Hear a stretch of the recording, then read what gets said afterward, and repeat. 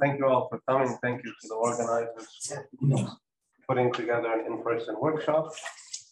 Um, so technically, I gave this talk three times here, probably the same title.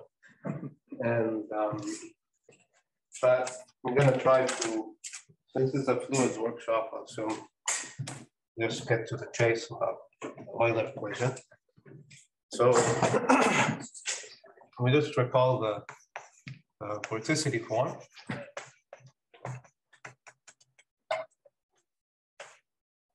Of the Euler equation. so the vorticity, which is again the curl of the velocity, is transported and stretched by the uh, by the velocity. And because the velocity is divergence free and omega is the curl of the velocity, we can recover the full curl uh, using the so-called Biot-Savart law, which is this formula. So this system is, this is 3D.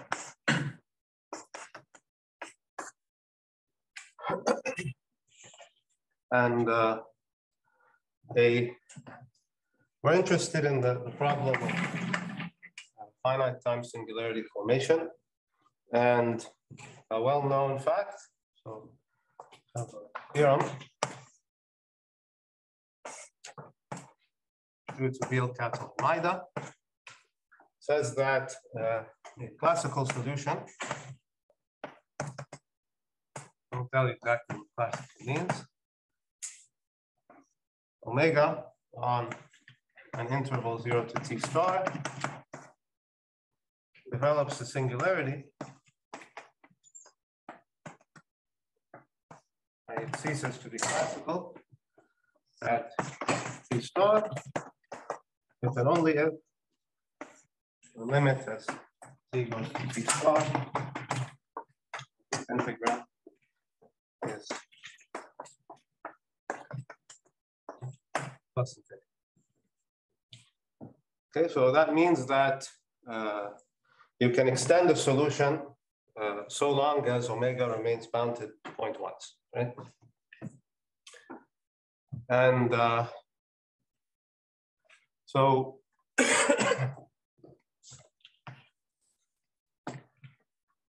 I guess the you know when, when one thinks about singularity, the the key question is how you know the, key question for singularity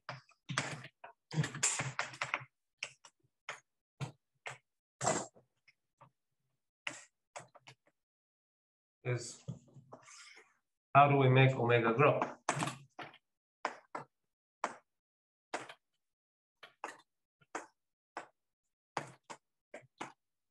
Okay. And when we you know, look at the equation, okay, so this is transport term. And this is, which means it doesn't grow omega pointwise. So even without the divergence free condition, right, it can grow pointwise by um, transport. But then there's the stretching term, um, for which if we think about pointwise growth along trajectories, along trajectories, and this um, along trajectory is an important statement. Uh, growth occurs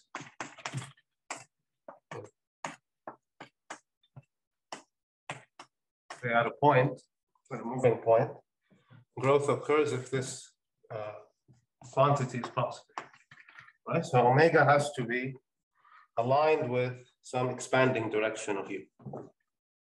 Okay, so that means, you know, because the, the velocity is divergence free, the trace of the gradient is zero. So u has to have some expanding directions and contracting directions. It has to have some positive eigenvalue and negative eigenvalues. And uh, the growth along trajectories, which means when you compose with the flow map, will occur only when uh, only when this is positive. Which means that omega, its main, okay, best case, it's parallel to the positive eigendirection of gradient.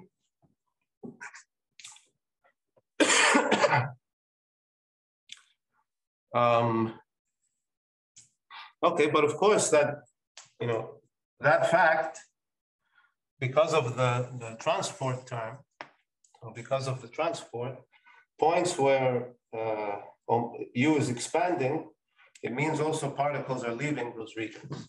Okay, so this is not, so there seems to be some kind of problem between these two terms, right? So even if, you know, even if a point in Eulerian remains uh, for some time in a region where this is positive or very large, it may be immediately ejected from that region. Okay. So our first task, if you want to understand the question, how do we make omega grow point-wise, we're basically going to split ourselves into two um, sub-questions. Is, is we'll study uh, I call this one star and double star. So we have to study how a solution of star given you can grow. And then we have to study is, is that scenario scenario means some kind of situation where omega u looks a certain way and omega looks a certain way and there's growth from this equation. Is that scenario consistent with double stop, the actual relation between u and omega?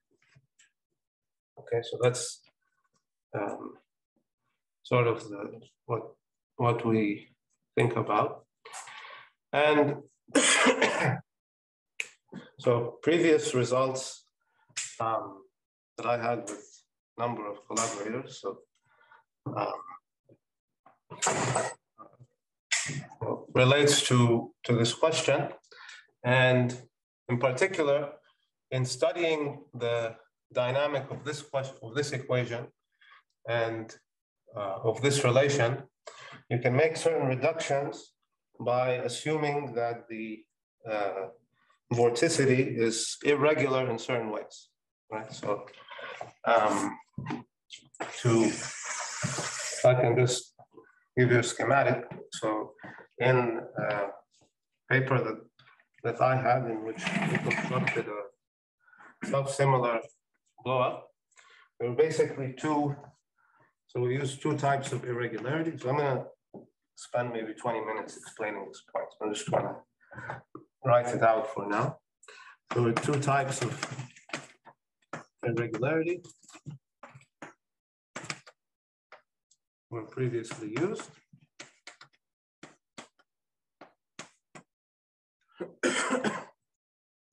one is uh, uh, one is in uh, in the direction of the flow.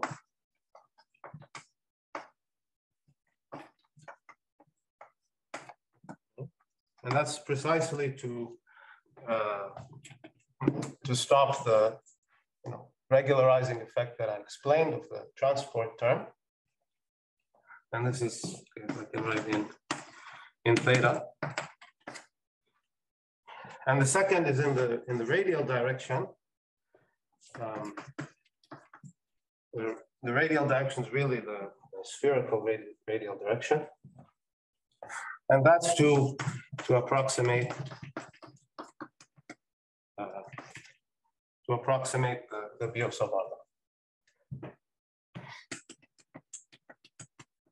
So in fact, you could think of the first one as you know, a way to simplify the star, and the second one as a way to simplify um, double star. Um, that, that's what I'm going to explain now.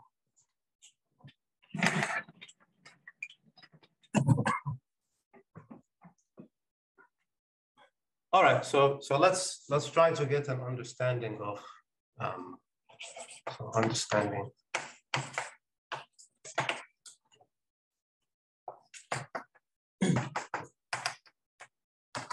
That's the, the vorticity equation, but I assume now that u is a given velocity field. So this title is okay.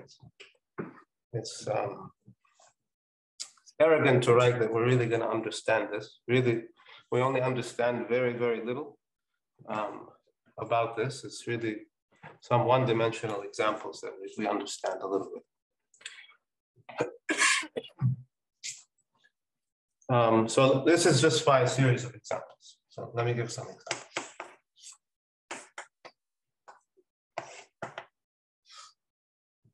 So uh, the first example so this is all in 1D.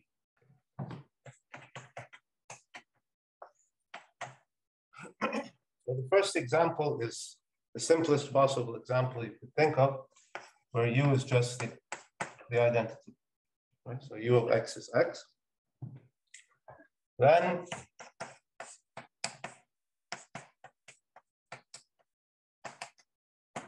omega is satisfying this equation and Okay, if you look at the maximum of omega, omega grows exponentially. That's there's there's nothing to say about growth um, per se in this equation. But it, it turns out that if you, if you think about this as just a local, uh, as a local approximation, if you don't think about, because obviously globally, the velocity is not going to be looking like this. So if you think about this as like a local approximation, then we have to, you write the, you can write the formula in this case. So omega x t is just e to the t, so that's the growth, times its initial data. Right, so you see there's a, it's growing at this speed and it's expanding at that same speed, right? And a key observation is that even though omega looks like it's growing, the derivative of omega remains bounded.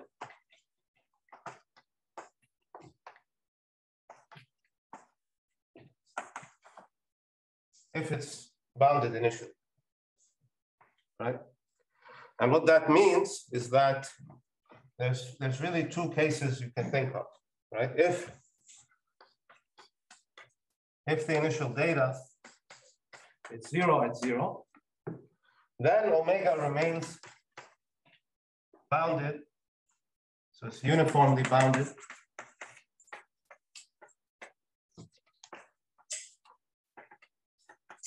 In the ball of radius one around zero, a region around zero, omega will be uniformly bounded for all time. and if it's not zero, if it's not zero, it will grow, you know, exponentially, just at zero, but it'll become flat. It becomes relatively flat.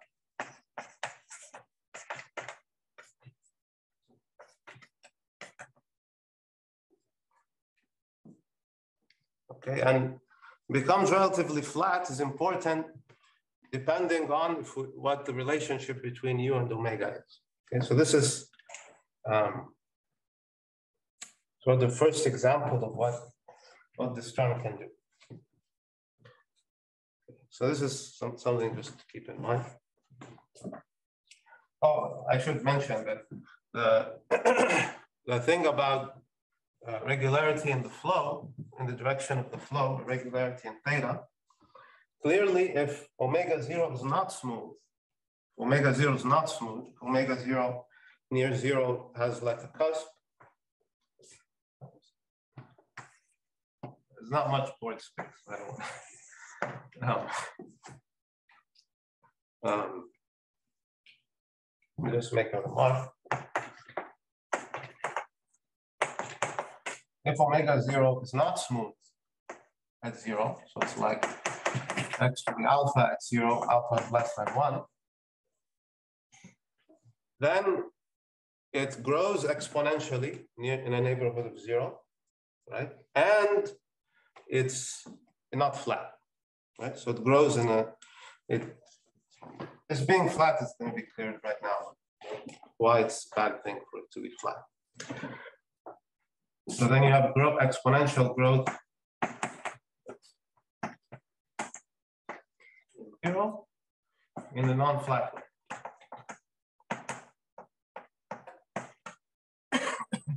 The reason that it's important is that the, the velocity is actually some average of omega against something that's integral of zero. So if it becomes flat, then the, uh, the velocity becomes much weaker. So I'll explain this now on a, on a nonlinear problem. So the second example, here's the first example, is a nonlinear one. So, so you take the velocity just to be, so this is on, on the circle.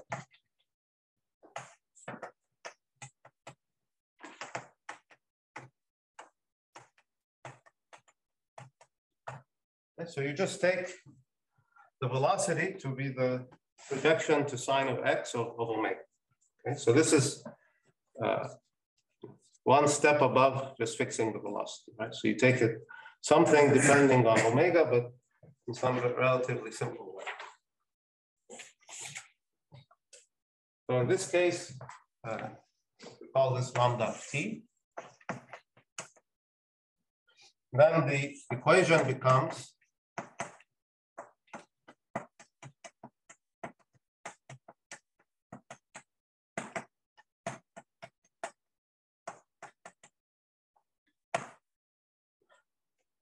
Okay, and by uh, rescaling time, right, to something else, you can just forget about this lambda of t and just imagine it like this.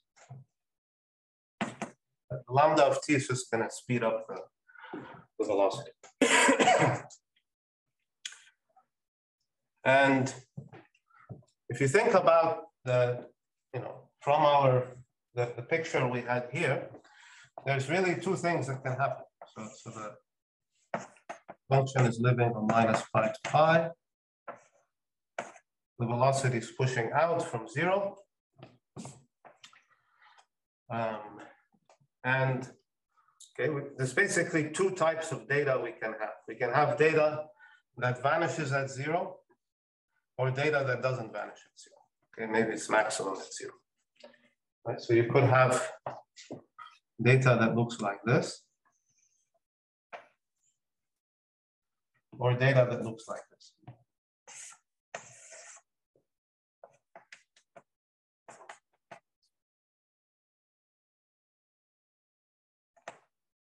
Of course, it could be slightly different.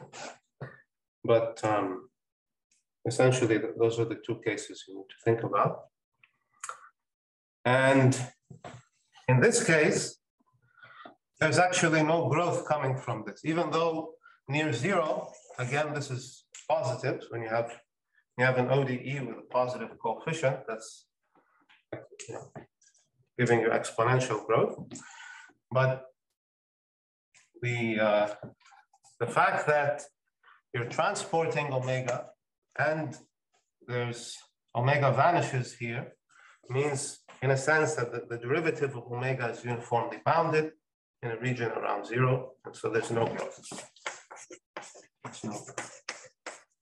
So, by the way, this, okay, so the exact calculation of this is in a recent review paper was posted a couple days ago with Theo Drivas. So this, this is not just hand waving.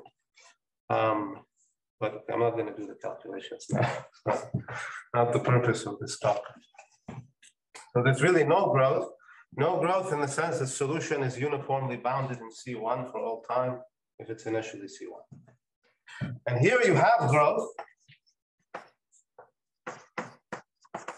of this problem. But you see what happens, right? The growth as time goes on, as, as tau increases in this equation, the solution becomes more and more flat, right? It becomes some big guy like that. Okay, so if omega is looking like this, and you integrate it against something, a kernel like this, then the velocity is going to zero. It's, it's inconsistent that this thing actually grows. So this this equation for C1 data, so this you have global regularity for C1 data, un unconditional.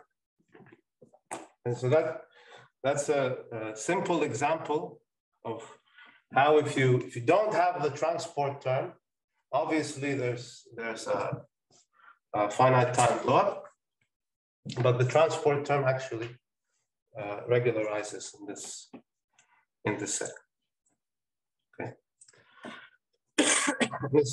this is really the, the, the, the second case here is really the case of when omega becomes flat and you, you integrate it against something. It's not only that it becomes flat, actually, it becomes essentially even um, around the maximum, around zero and sine of y is an odd curve. Okay. Um, I'll give you guys a second example. Oh, should say one thing. Here also, this remark applies. Okay, so I, I'll, okay. I'm going to erase this our in a second. So here also, if you take, taking C alpha data, again, I want to emphasize it's, it's really about having C alpha data in the direction of the flow. So in the direction of the, of the velocity field in 1D, that's only one direction it doesn't matter. So here also taking C alpha data for any alpha less than one, you can get a singularity.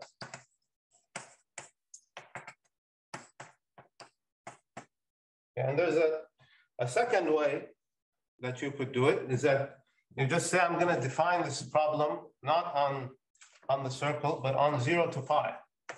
I'm just going to forget that I, want, I don't want periodic boundary conditions anymore. I just want to solve it on zero to pi.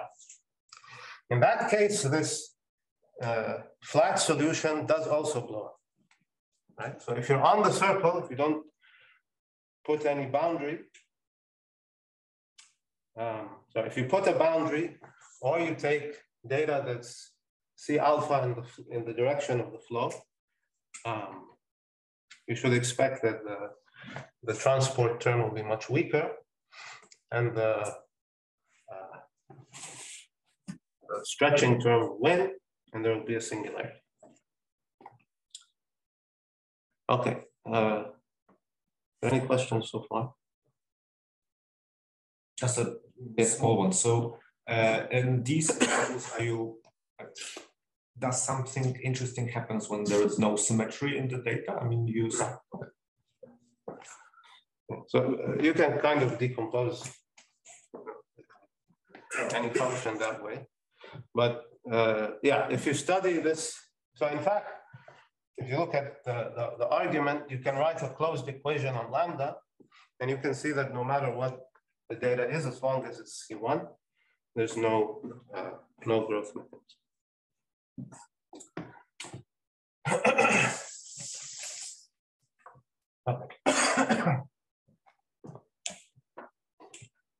okay. So now I mentioned this very simple fix of this problem that does not force you to take uh, non-smooth data. So uh, the original, original minus to pi. So a kind of simple fix is to change the parity in the problem. Because you take u of xt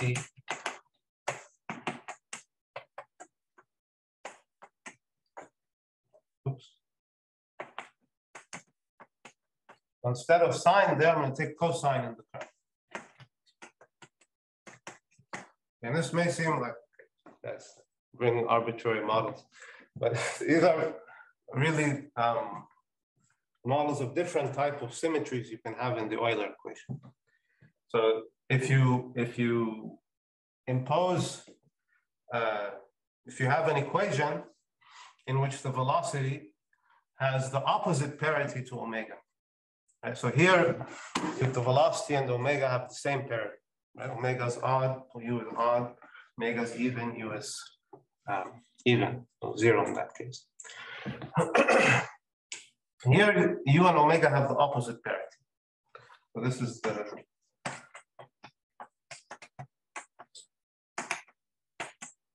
and it's a, a slightly uh, slightly um,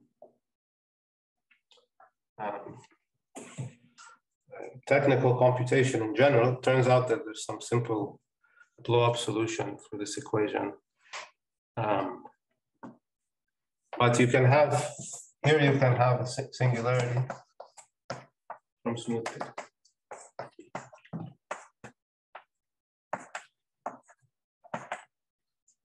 It's not immediately obvious, and the, the culprit is this flat case, right? So that's, it's not immediately obvious because exactly flat, if omega was exactly flat, this would be zero, right? But what actually happens is that it looks uh, more like this, and it's growing, maintaining the same shape, and so it looks, you know, it's become, it is true that it's becoming kind of flat relative to its maximum. Um, but it still develops a singularity, right? Because you see that the negative part of the cosine, the cosine looks like that. The negative part of the cosine is with the smaller part of the, of the vorticity. This is slightly complicated to see, but it's, it's not difficult to check. Okay, so these are um, a few ways in which you can, um, in which this irregularity in the direction of the flow um, comes up.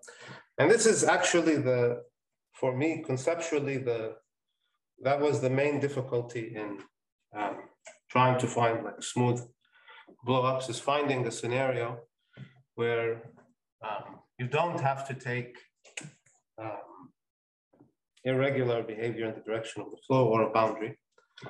But it turns out that if you, you're working in the right scenario, um, you can do that. So maybe I'll, I'll, mention at the end of the talk uh, scenario where you can remove this type of singularity. Okay.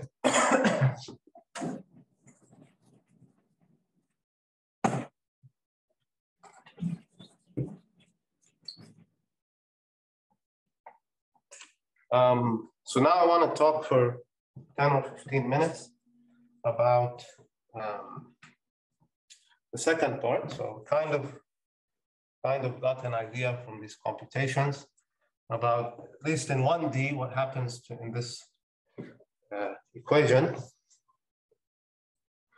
And now we want to get a better understanding of this point.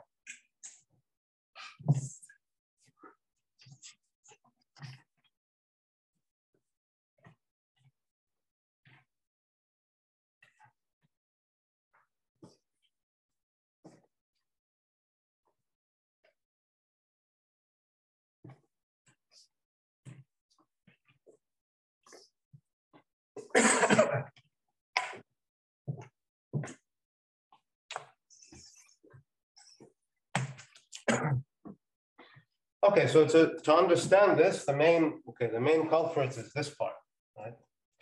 So the, the main thing to understand is the, the inverse Laplace. So in terms of regularity, probably know everything there is to know about this uh, operator. Um, so formally, right? So formally, we always gain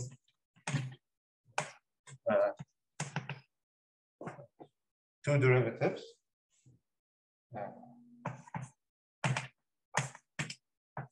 when we invert the Laplacian.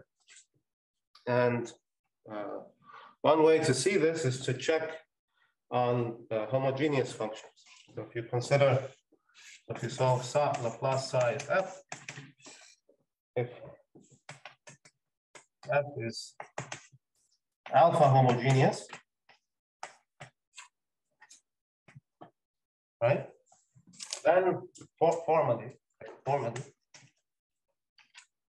psi is two plus alpha homogeneous. Homogeneous is the, the usual thing we're, saying. F is alpha homogeneous means F lambda x lambda alpha. That's what homogeneous lambda is a number. Um, but this this breaks down. So this so this breaks down on alpha as an integer right? So if you have exactly the integer regularity, then, uh, okay, which is unfortunate fact of life, fortunate for some people, um, then uh, you don't have this uh, Schauder theory on the exactly on the integer spaces. And the reason for this is, so the, so the reason for this is the resonance. We may debate the, the use of this term um, with the spherical harmonics.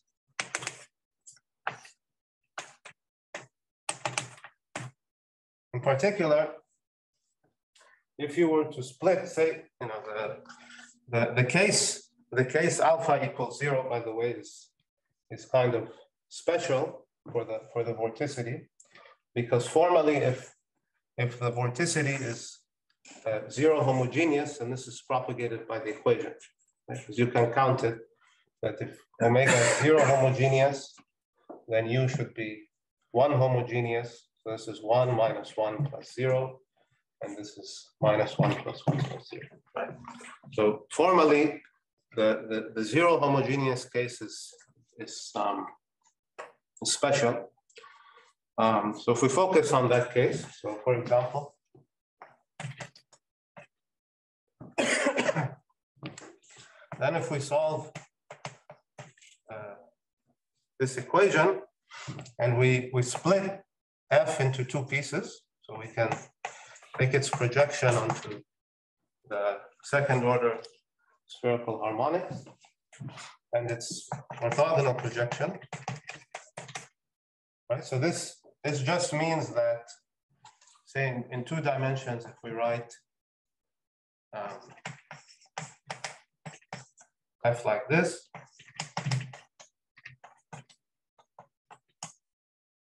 right? So we can write uh, any L2 function this way.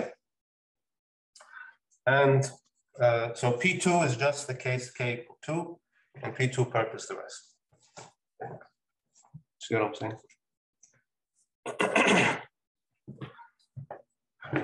so for solving uh, this problem, there's no issue with inverting, even when it's exactly zero homogeneous, there's no issue with inverting this part.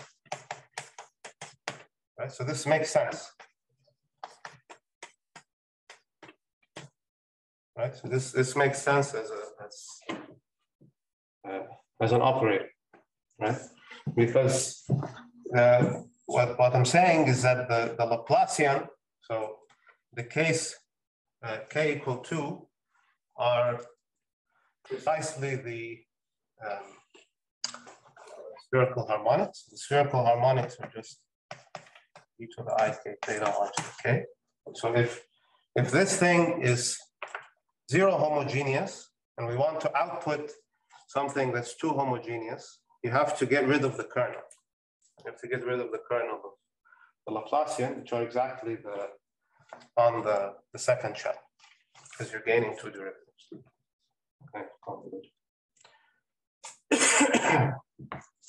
now what it means is that what it means is that as alpha approaches zero,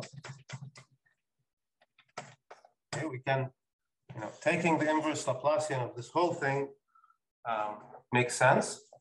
Then this part should develop some kind of uh, singularity. So it should uh, develop a singular term. Right, so using this, okay, so this was, uh, so uh, notice that this is the, the issue about regularity in R, right? So this is in, in, in any dimension, right? So this is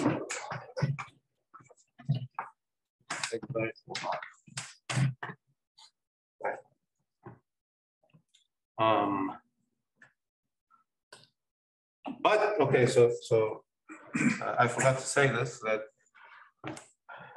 if for some reason you could say that this was zero, then you could uh, define exactly at alpha equals zero. You could define the scale invariant solutions to this equation. So you could define uh, zero homogeneous solutions. You can study their properties. And uh, that was work we did with In-Jee Jeong, several papers in different contexts. And that you could say is like the next order. So if this part is the, because uh, it's one over alpha, this is like minus one order when alpha is small. This is the zeroth order when alpha is small. Okay? So you could think of this as like, as alpha goes to zero, you could think of this as an expansion. Right? So now, uh,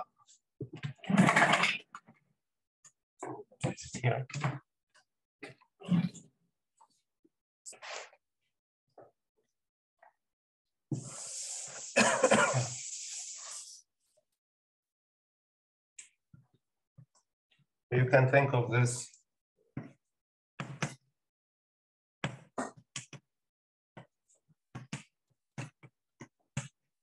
The key thing is that this has a very nice form and it has uh, you know,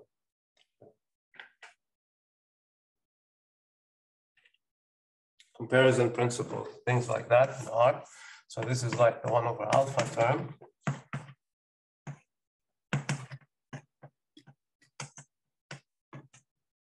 Okay, and this is like the order one term. And if you restrict to the case where um, if you uh, do the right thing, you can uh, split this further into simpler uh, part and you can do a full expansion. So you can write it as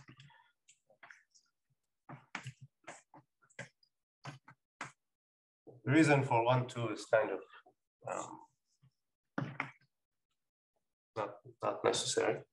Um, so you can get some expansion in alpha.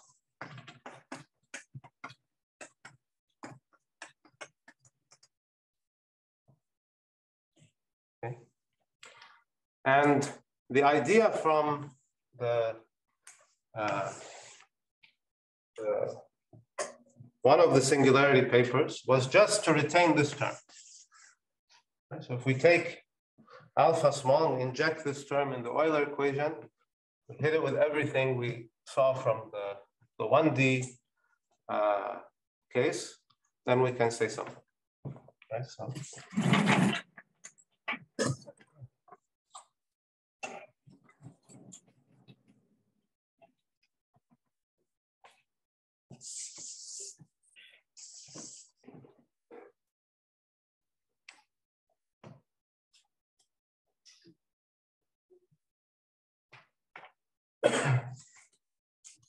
So when we, um, formally,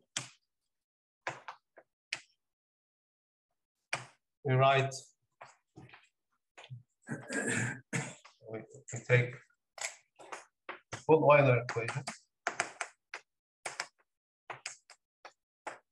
And then we, uh, we just um, retain only the uh, order one over alpha terms.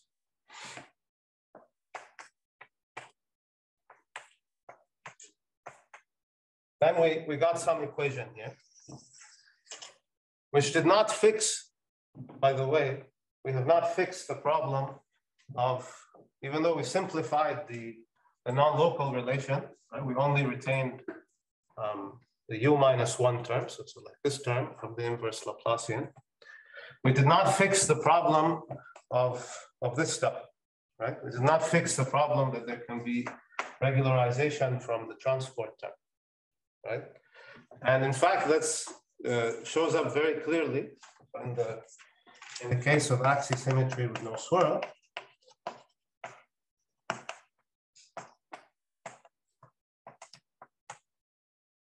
Um, in the case of axis symmetry with no swirl, you retain uh, something like this. So just, I just write it. It becomes something like this.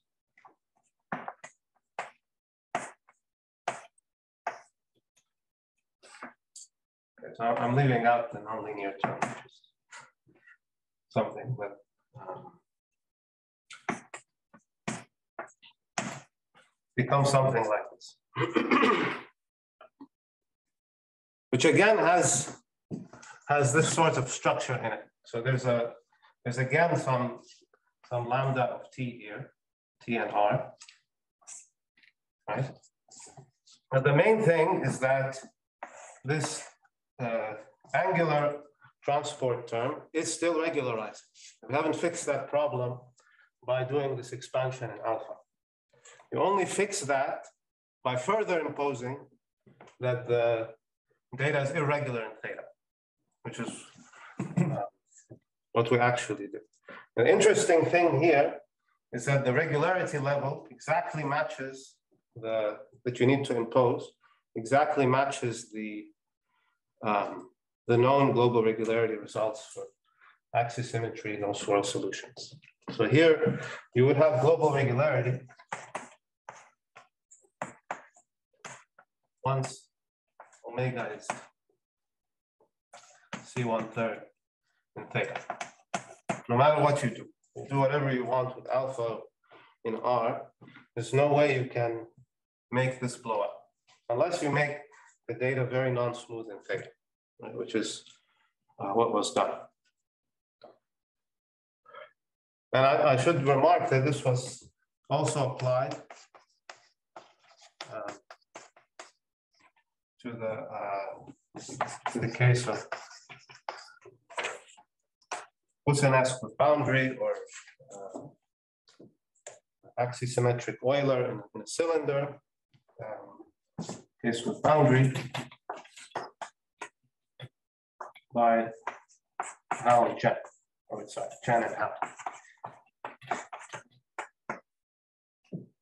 Um, who's here? I don't know where right there. Okay. Um,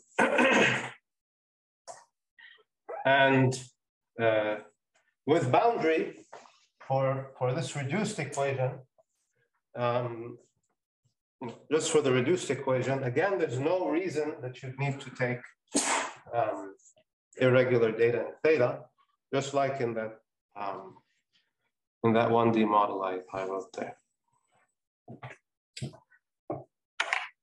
Okay. Um, okay, I have till 10, right? Yeah.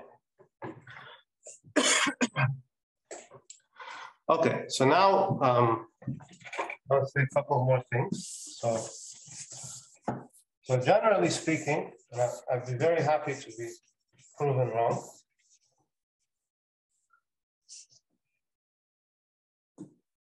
So generally speaking,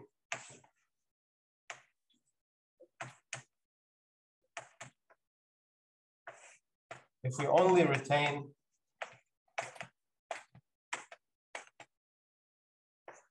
the, the leading order term in the in the expansion here, which is just the, the effect of the projection onto the second shell. Um, I don't think we can, uh, so, so this, okay, should be very careful what I say. So this can be applied, you know, to the Euler equation, to the 3D Euler equation without putting any symmetries or anything. And one should, this equation, in my opinion, should be given some time and really studied. Um, but it, if you know, my intuition is not wrong, probably this equation always suffers the, the global regularity um, when you just do that. If you take smooth data in the angles. Right, so that. So we should have global regularity. Unless we, without boundary or anything, I'm talking about in free space, we should have global regularity um, when the data is smooth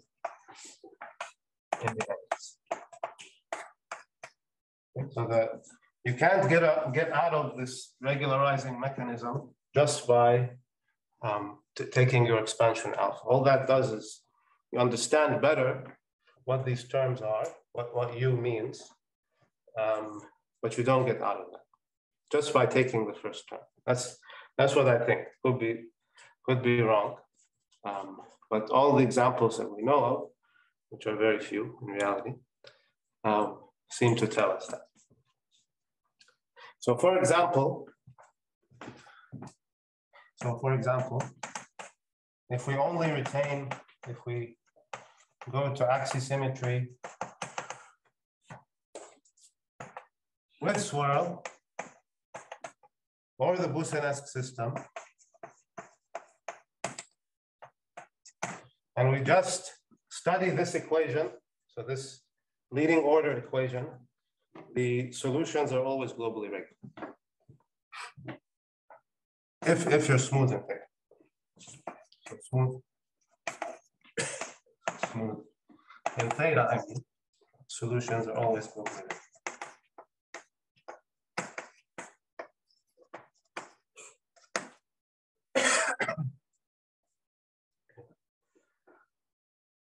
Any question? Let's see. Okay, but see the obvious thing I'm gonna say next is that you should, you know, you should cut, okay, go to the next order and see what happens. So you should really um, add one more term in your expansion and see if it's possible to get a singularity that's um, smooth in theta, right? This will not resolve the regularity in R because you still have to do this expansion, which um, relies on alpha being small. But again, from our experience, which again is limited, um, it doesn't appear that regularity in R is as uh, decisive as regularity in theta. But okay, that's difficult thing to make make precise. Made it precise, solve the global the blow up problem for smooth data.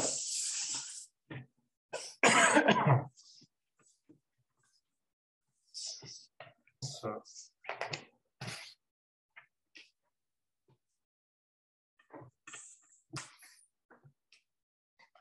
So. And I'm just gonna say, that this is a forthcoming work with uh, Federico Pasqualotto.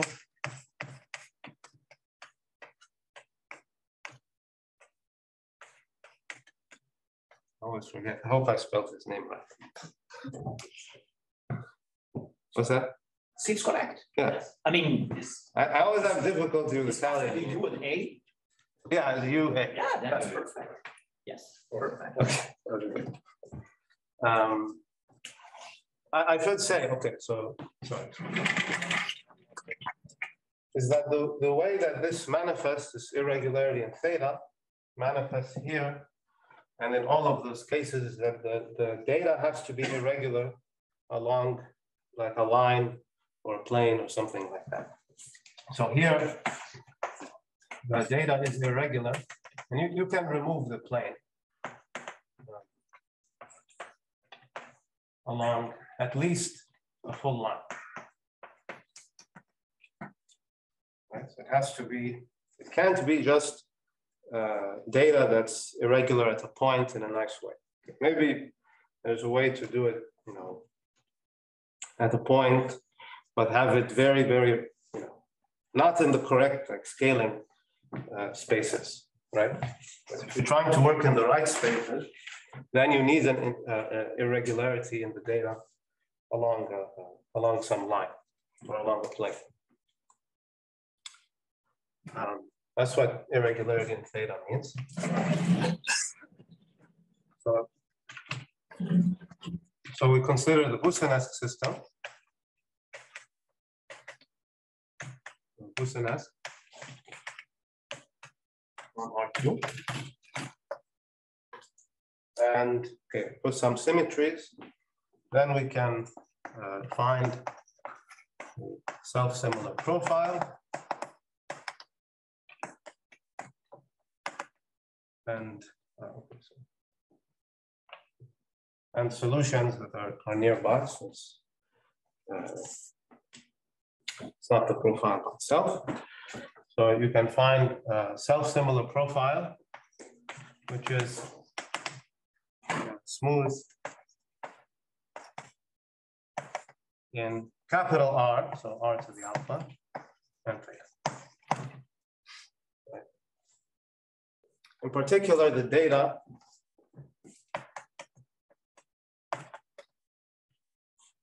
particular um, omega zero and the gradient density. Okay, so maybe just, if you don't know what the Boussinesq system is, just think of the density as another component of the velocity. So I'll just write it. Like, even though this is for Boussinesq, not axisymmetric order. Um, uh, so this thing is uh, C infinity on R2, except at zero. And uh, intersected with C1 alpha for some small Small. And you can find again some continuum of alphas. So it's a family of profiles. And actually give the computations it's kind of a nightmare. Not, not a nightmare, just quite long. Um, but I, I'll just tell you that it uses the, so we use the second order approximation to the Biot law. And um, so that we have to we have to retain sort of several terms in the expansion. So omega becomes like some alpha times some function. And rho zero, scale is correct, divide by r, is uh, some order order one function, okay, which, and the all right, so uh, I forgot to say one thing. So the, let me just write the expansion.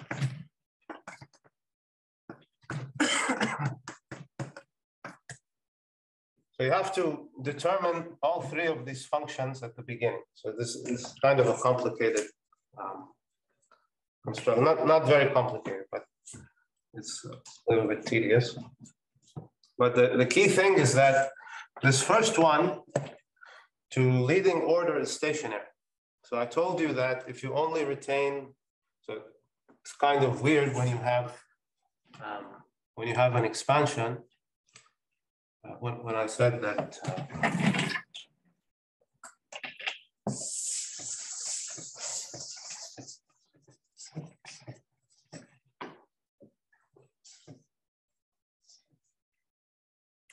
when you have an expansion,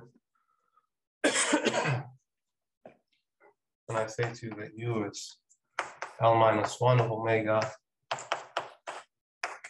0 above. And then I tell you, I'm going to take the density to be like this. Then you're right to ask, you know, how, how is it consistent that these three terms balance each other, right? Because the, the P0 is introducing some very large term in the equation, but P0 is essentially, it's steady to leading order.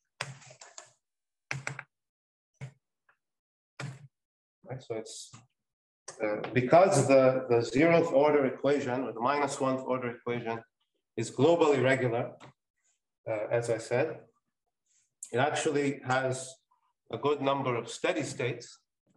And the, the first expansion, first term in the expansion is, uh, is a steady part. And then the, the blow up is some interaction between the next terms and the previous. So um, it remains to, so we're still, you know, writing this up now, so hopefully maybe this month it'll be done. Never know though, uh, how long it might take, but hopefully this month. Um, uh, but it remains to figure out, uh, okay, so sorry. A little more precise. So it remains to figure out how you can remove the irregularity in R. But um, I guess we'll see what happens. Thank you.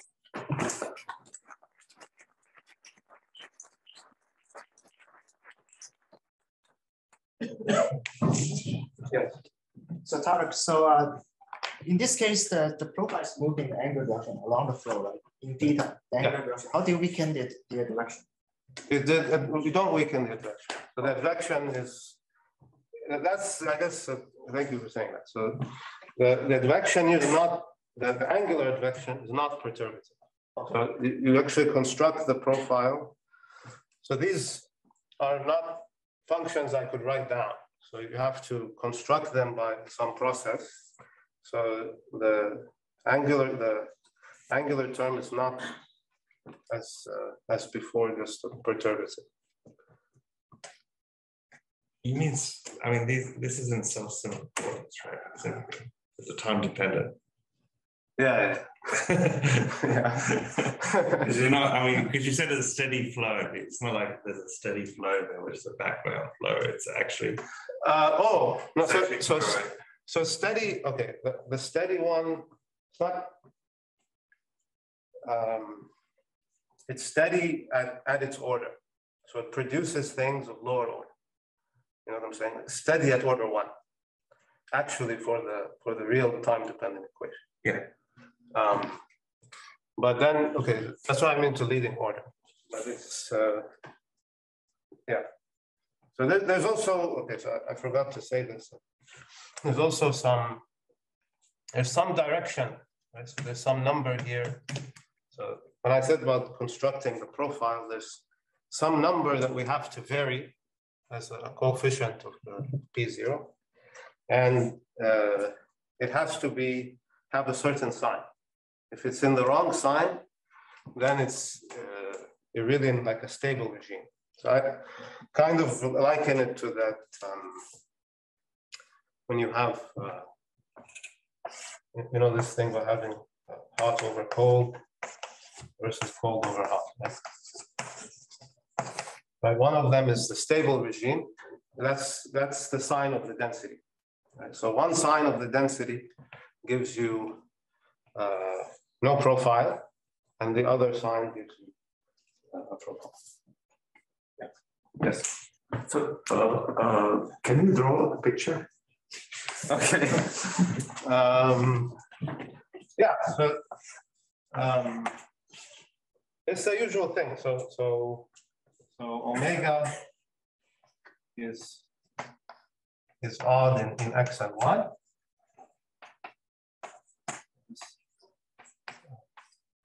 That thing. I can't, I don't think I can draw a correct, a, a good picture that will show what's going on. To be honest, um, to be brutally honest, there's no clear reason why this works to me right now. Um, but um, uh, so I'll, I'll just tell you the symmetries. That, that will help. Omega is odd in x and y, and the, the density rho is uh, it depends on what equation we're talking about, so it can be even in y.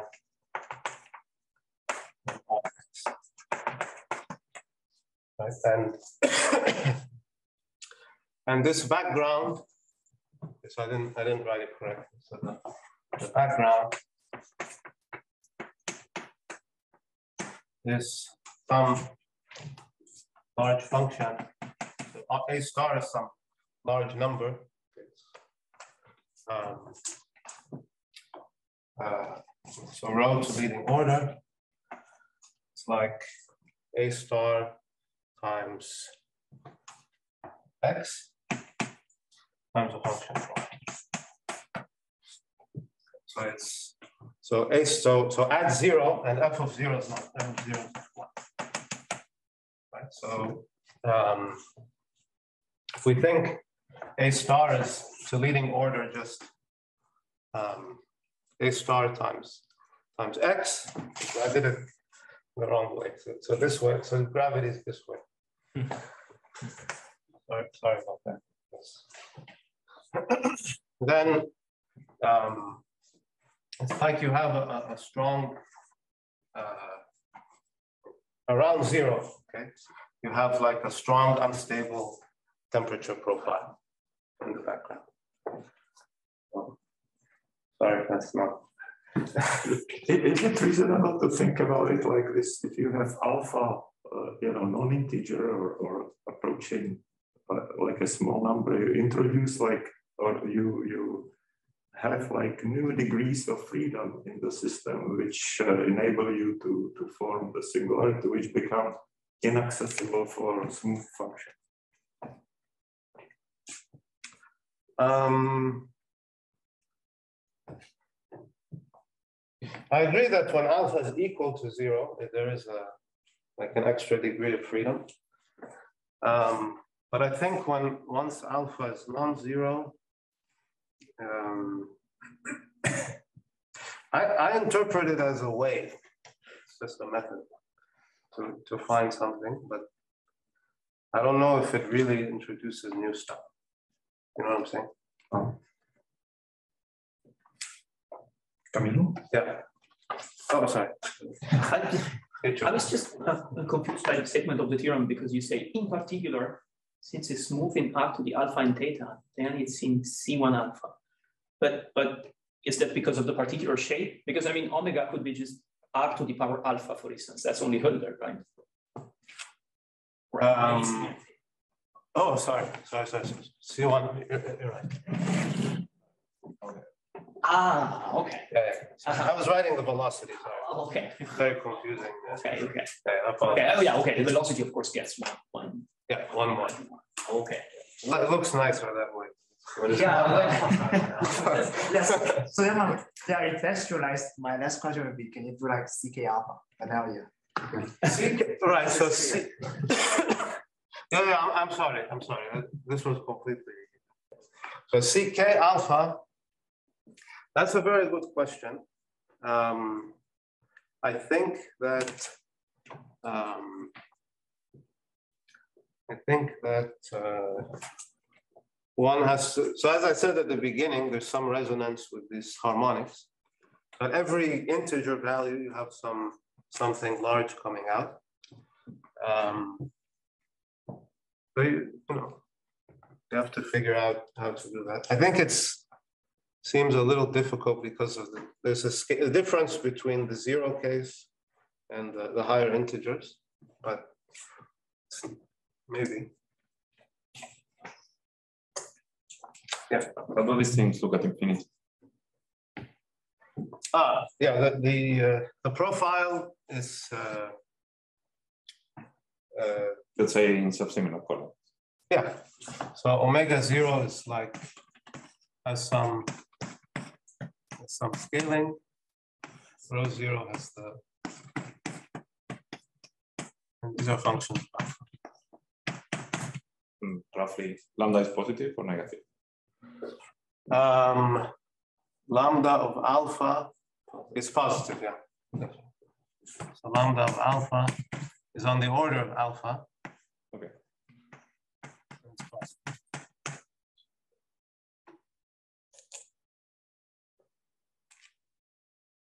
Uh, I have a silly question. Uh, you mentioned that in axisymmetric no swirl, there's global regularity when you have C one third. Yeah. Does that have anything to do with the one third of Onsager, or is it just a coincidence? no, that's, that's dimension, that's, right, so the Onsager thing is dimension dependent. uh, Independent, sorry, and this is dimension dependent. So in four dimensions, is some other number. Maybe one half or something. Four and three instead of one. Say again? It's four and three because it's one, one. Oh. Okay. Okay, so I suggest we take a break. Thank you very much.